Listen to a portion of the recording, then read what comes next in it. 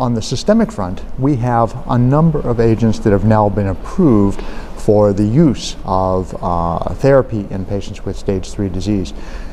Before we had interferon, and very few people liked to use interferon. It was a highly toxic dose of drug, and it really had limited efficacy.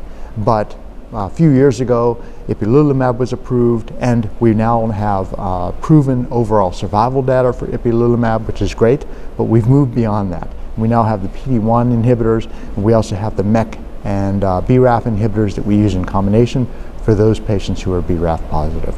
So we've really opened up the gamut of being able to help these patients, and it's critical to understand that we need to diagnose patients with stage 3 disease so that we can offer these particular therapies.